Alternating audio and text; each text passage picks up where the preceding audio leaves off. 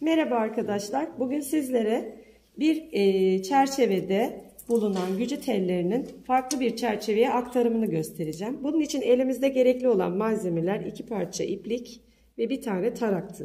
Öncelikle tarak tığımızı gücülerin bağlı olduğu çerçevenin üst kısmında e, hiçbir gücü teli atlanmayacak biçimde şöyle geçiriyorum arkadaşlar. Şu şekilde. Ondan sonra bunun ucuna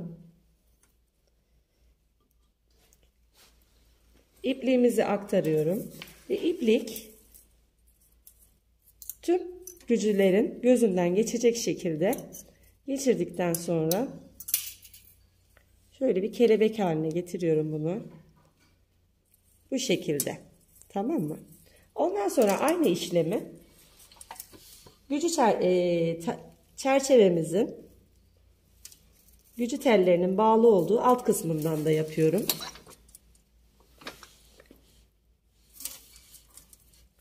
Bu şekilde. Biraz el becerisi de gerektiriyor bu işlem. Gördüğünüz gibi. Bunu da şöyle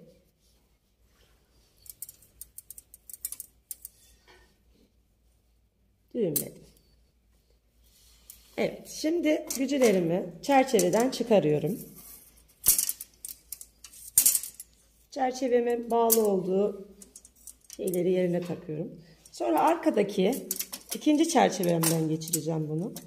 İkinci çerçevemin şöyle yukarı kaldırıyorum. Yine tarak tığından yardım alacağım. Belki bir arkadaşınızdan da yardım alabilirsiniz. Şu şekilde ipliğin gergin durumda olması gerekiyor. Evet tığdan geçirdim bunu. Yine